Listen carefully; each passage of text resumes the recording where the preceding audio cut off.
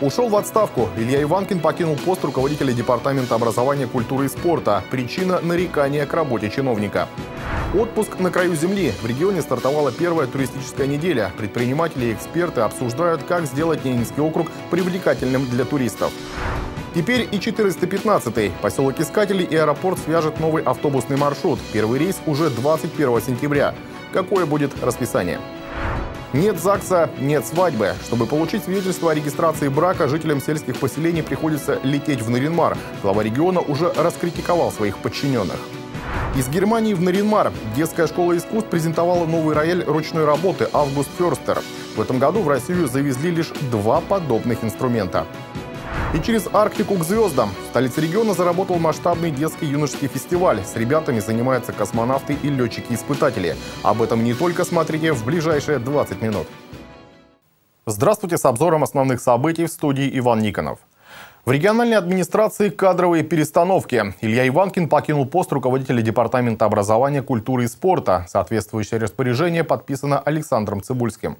В официальном сообщении говорится, полномочия Иванкина прекращены с 11 сентября в связи с их добровольными сложениями. Напомню, в течение нескольких месяцев работа экс-главы образовательного ведомства неоднократно подвергалась критике со стороны временно исполняющего обязанности губернатора. Речь, в частности, шла о неоправданно затянутых сроках открытия нового теннисного корта в Наринмаре, невыполнение в установленный срок поручений Александра Цибульского по созданию пилотного проекта досугового центра в поселке Красное и необходимости оказания своевременной поддержки поддержки талантливому лыжнику из Ненецкого округа Александру Терентьеву. Добавлю, должность руководителя профильного департамента Илья Иванкин занимал с января 2017 года.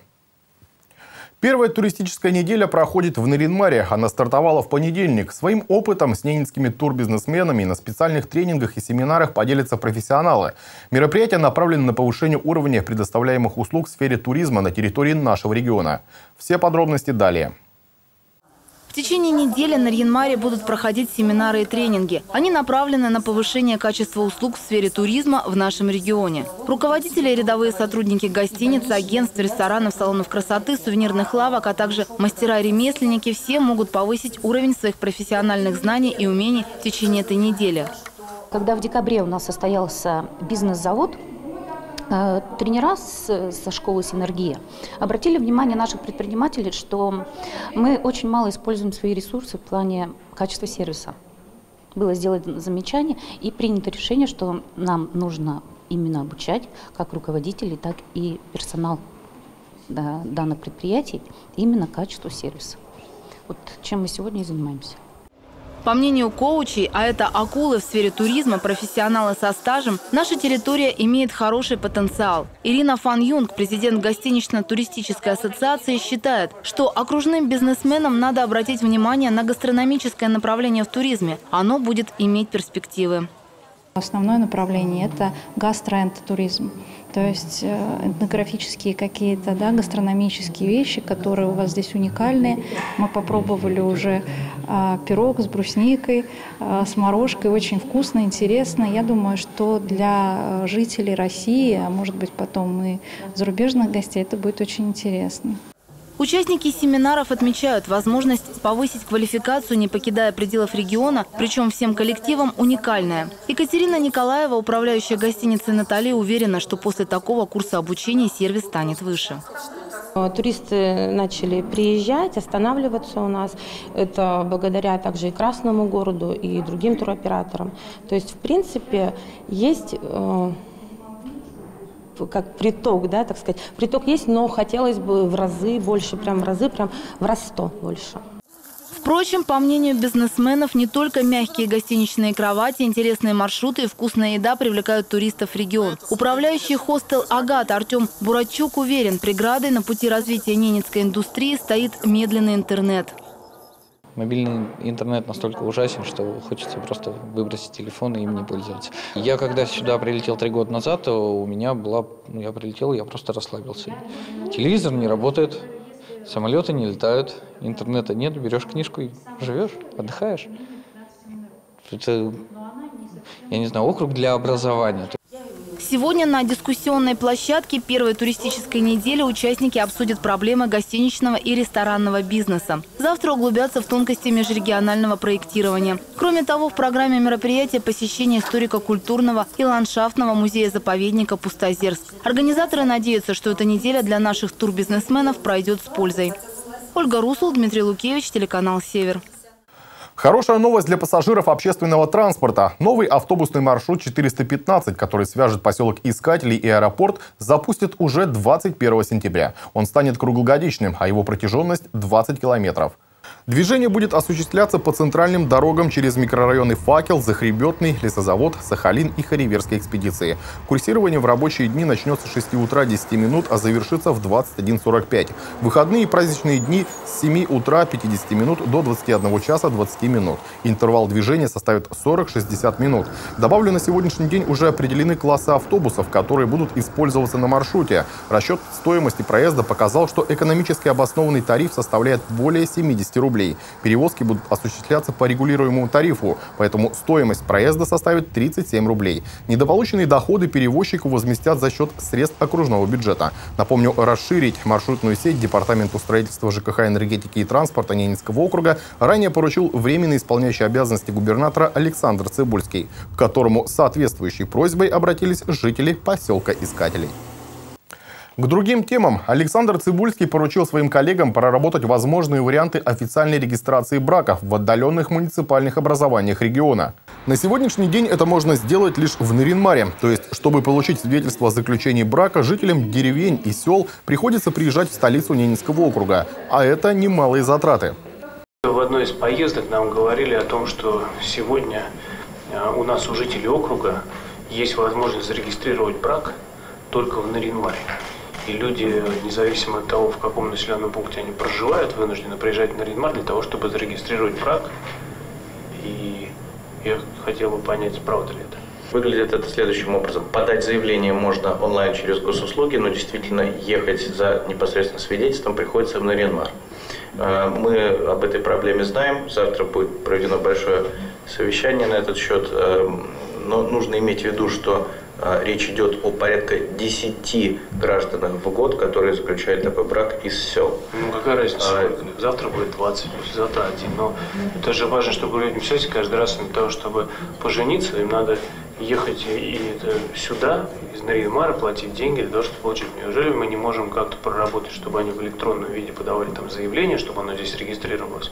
У нас же все бланки наверняка носят э, характер да, жо, отчетности, да, строгой, строгой отчетности. Может быть, есть смысл каким-то образом дать возможность главам муниципальных образований это делать.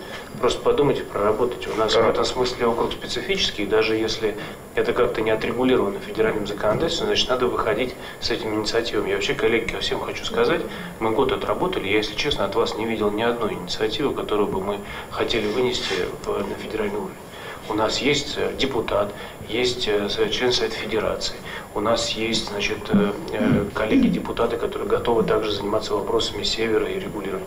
Ни одного предложения от вас не было. Такое впечатление, что мы здесь замкнулись внутри нашего региона, и другой жизни вокруг нашего, нашего округа нет. Она есть. Поэтому вы смотрите, и если что-то нельзя решить, но мы понимаем, что для нашей территории целесообразно сделать какие-то исключения, или, может быть, в целом для арктической зоны, или в целом для северного, для крайнего севера, надо выходить с этими инициативами и продвигать их. И это в том числе, Юрий Георгиевич, ваша работа. Как сообщили в отделении ЗАГСа Ненецкого округа, на сегодняшний день уже прорабатывается несколько вариантов решения данного вопроса. Один из них может стать установка в административных центрах муниципалитетов соответствующих программно-аппаратных комплексов, при помощи которых можно будет регистрировать брак на месте, не посещая Наринмар. В Наринмарской детской школе искусств пополнения в распоряжение творческих ребят и их педагогов поступили три высококлассных инструмента – электронное пианино, концертный ксилофон и рояль ручной работы. Последний, кстати, доставили в окружную столицу прямо из Германии. Первый концерт на новом оборудовании воспитанники школы дали на днях. Побывала на нем и съемочная группа. Алина Ваучейская с подробностями.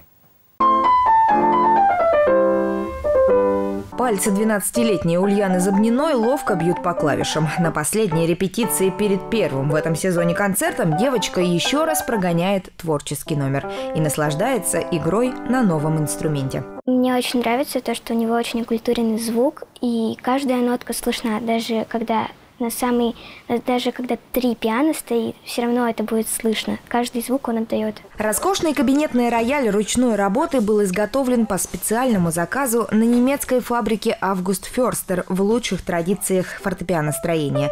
В этом году в Россию завезли лишь два подобных инструмента. Прежде чем оказаться в актовом зале детской школы искусств Нариенмара, он преодолел путь из Германии до Москвы, а оттуда уже на грузовом автомобиле. Его отправили в далекое Заполярье. Конечно, мы переживали, мы переживали, потому что путь прошел рояль очень сложный из Германии в Москву, из Москвы в Наринмар. Держали на контроле не только я. Э, я выражаю огромную благодарность специалистам компании «Зарубеж нефтедобыча Хоряга» за то, что они контролировали каждый шаг. Погрузку в городе Москва э, как у нас рояль двигался в город Наринмар. Вместе с роялем к нам сюда приехал настройщик а, замечательный настройщик, тоже высочайшего уровня, который занимается только с фирмой Август Ферстер. А, и он отметил высокое качество доставки инструментов в столь отдаленный регион. Музыкальная бомбоньерка композитора Машелеса в стенах Нарьинмарской детской школы искусств, пожалуй, никогда не играла так торжественно и красиво. Звучание инструмента и его фирменный тембр не оставили равнодушными и главу региона Александра Цибульского. Ну, честно говоря, прям заворожило звучание рояля. Ну, наверное, чувствуется, что это инструмент очень высокого класса. Я очень рад, что в нашей музыкальной школе появился инструмент, на котором действительно можно воспитывать звезд мирового уровня. Такие инициативы, они, может быть, напрямую не влияют на экономику, не связаны с бюджетным, межбюджетными вливаниями, но тем не менее очень приятно, что компания, которая с одной стороны в том числе обеспечивает нам хорошую бюджетную составляющую, еще и не забывает о составляющей социальной и помогает нашим детям. Впрочем, рояль не единственный подарок от недропользователей. В июне при поддержке партнеров Харегинского СРП работала летняя творческая школа, а в августе – кочевой детский сад. Кроме того, Центру развития образования были выделены средства на приобретение оборудования в мобильный компьютерный класс. Планы на следующий год пока только формируются. Пока рано говорить о каком-то конкретном проекте. Но уже сейчас можно сказать, что э, мы продолжим сотрудничество с нашими традиционными партнерами в сфере образования. Мы понимаем, что воспитание нового поколения – это дело, которое требует регулярной упорной работы. И мы рассматриваем наш вклад в это дело как долгосрочный проект. Кстати, в этом году Харьягинское соглашение о разделе продукции продлено еще на 13 лет. А это значит, будут созданы условия для стабильного развития и реализации новых социальных проектов. Ну а маленькие звездочки детской школы искусств теперь смогут радовать жителей округа концертами классической музыки, играя на новом рояле. Алина Волчейская, Антон Водряков, телеканал «Север». Дан старт. В Наринмаре состоялся первый этап фестиваля детско-юношеского технического творчества «Через Арктику к звездам». В течение нескольких дней участники мероприятия побывали на мастер-классах, лекциях и познавательных встречах. Познакомились с российскими летчиками, космонавтами и астрономами, а также ветеранами аэрокосмической отрасли. Торжественное открытие фестиваля провели во Дворце культуры «Арктика». Репортаж Людмилы Сидейской. Важный и исторический момент. На связь с наринмарскими школьниками выходят российские космонавты. Олег Артемьев и Сергей Прокопьев, которые находятся на борту Международной космической станции, передают участникам фестиваля свои поздравления. Дорогие ребята, будущее во многом зависит от вас. Любите мир, любите своих близких, цените каждое мгновение. Дарите друг другу улыбку и радость, проявляйте заботу и внимание, мечтайте. Верьте в то, что много еще вам предстоит открыть. Мы желаем вам добра и здоровья. Мы с высоты космического полета видим, как прекрасна наша планета Земля и как бережно нужно к ней относиться как важно жить в согласии, быть счастливыми и дружить со всеми народами мира. Еще одно обращение от Натальи Королевой, дочери великого советского ученого, инженера-конструктора Сергея Королева. Я очень рада, что вы интересуетесь авиацией и космонавтикой. И кто знает, может быть, когда-то скоро, в скором времени мы увидим в космическом пространстве какого-то космонавта из Ненецкого автономного округа. Этого я вам желаю. Я желаю, чтобы очень хорошо прошел у вас фестиваль. Желаю вам успехов в учебе и, и тем, чтобы вы интересовались космонавтикой и авиацией. Всегда. Фестиваль «Через Арктику к звездам» – это уникальная возможность для детей Заполярья. Учащиеся городских школ познакомятся с российскими космонавтами и конструкторами, а также посетят лекции по астрономии. Ваш город, ваш край – это ворота в Арктику. А город Звездный – это, это ворота в космос. Мы очень надеемся, что благодаря объединению двух этих замечательных города Звездный и вашего замечательного края города, вы станете будущим. Среди почетных гостей и Александр Лазуткин. В Наринмаре летчик-космонавт уже не первый раз. Говорит, от нашего небольшого городка просто в восторге. Такое же впечатление у Лазуткина и от местных школьников.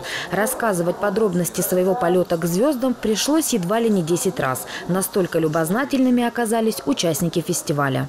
Даже сейчас вот зародились планы на то, чтобы на ближайшие годы еще какую-нибудь программу здесь сделать, такую, чтобы хорошую чтобы ваши дети такие гремели по всей стране нашей, все говорили, ба, есть такой город Нарьянмар, какие там умницы и умники растут. Кроме того, мне было приятно видеть то, что я называю пытливые глаза.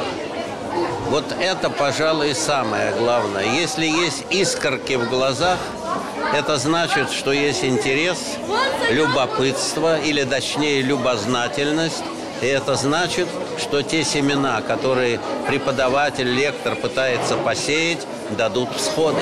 Фестиваль «Через Арктику к звездам» проводится второй раз. В 2017-м он состоялся под названием «Арктика. Дети. Космос» и был посвящен развитию авиации. Сейчас же тема более узкая – техническое, инженерное и конструкторное творчество. В течение учебного года это будут разовые мероприятия, когда будут э, по возможности приезжать наши друзья, гости из космического городка, из музеев космонавтики, ну и также из э, Дома э, авиации и космонавтики, который находится в Москве.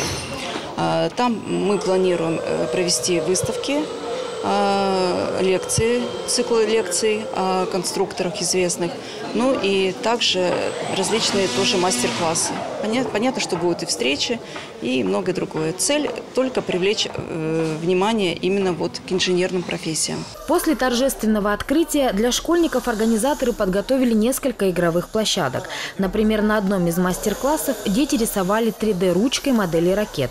Напомню, фестиваль «Через Арктику к звездам» состоит из трех этапов. Завершится серия мероприятий в День космонавтики 2019 года. Людмила Сидейская, Сергей Качегов, телеканал «Север». И в завершении выпуска сборная КВН Ненецкого округа сегодня отправилась в Казань. В столице Татарстана нашим ребятам предстоит выступить в полуфинале первой лиги клуба «Веселых и находчивых». Команды сыграют четыре конкурса – приветствие, стем, разминка и музыкальный номер. За выход в финал сборная региона поборется с 11 коллективами из России, Казахстана и Белоруссии. Добавлю, одна вторая будет проходить в два дня – 19 и 20 сентября. Что касается нашей команды, то она выступит в первый день. Конкуренцию составят сборные Иркутска и Бурятии, а также веселые и находчивые из Минска, Альметьевска и Владикавказа. Напомню, в полуфинале команда Ненецкого округа вышла еще в мае, заняв тогда первое место в 1-4. А возможность попасть в телевизионную лигу появилась у заполярных КВНчиков по итогам их участия в международном фестивале «Кивин-2018», где сборная нашего региона получила повышенный рейтинг. И на этом все. Новости вы можете увидеть и на нашем сайте адрес trksевер.ру. Далее смотрите прогноз погоды.